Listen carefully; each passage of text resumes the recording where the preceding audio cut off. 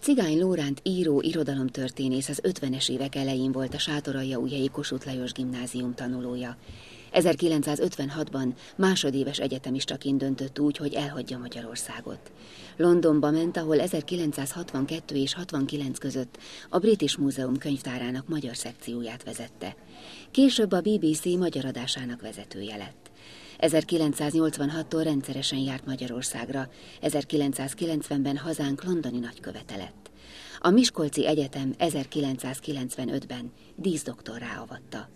Az emigrációs magyar irodalom kiemelkedő alakja, irodalomszervező, könyvkiadó. Több művében is megemlíti, hogy még Oxfordban sem kellett szégyenkeznie egykori iskolája miatt. A Kossuth Lajos gimnázium tisztelegve Cigány Lóránt életműve előtt róla nevezte el a könyvtárát. Dr. Komáromi Sándor nyugalmazott főiskolai tanár irodalomtörténész úgy fogalmazott laudációjában, hogy Cigány Lóránt könyveiben egy párját ritkító életmű kerül az olvasók kezébe.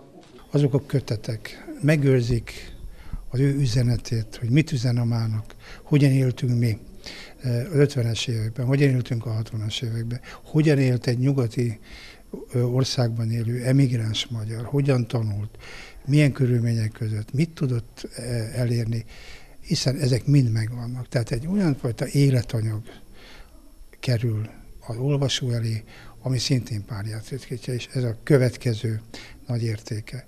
Cigány Lóránt úgy rendelkezett, hogy halála után 2000 kötetből álló magyar nyelvű könyvtára legyen szeretett alma máteréjé, a Kossuth Lajos gimnáziumé.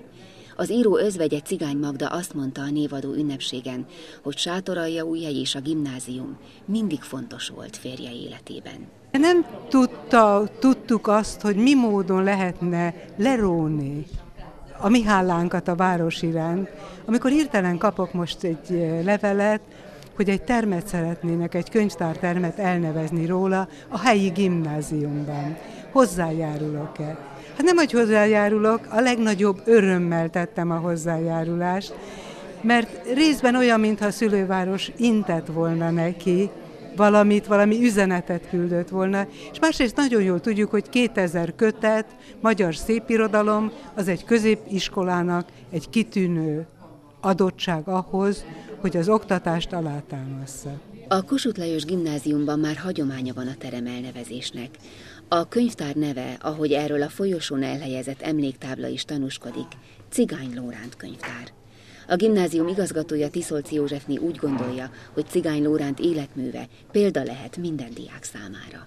Meg kell érteni a mai fiataloknak, hogy a hazát, a gyökereket nem szabad külföldön elfelejteni. Külföldön is magyar az ember, és ha úgy tetszik, akkor kosutos diák.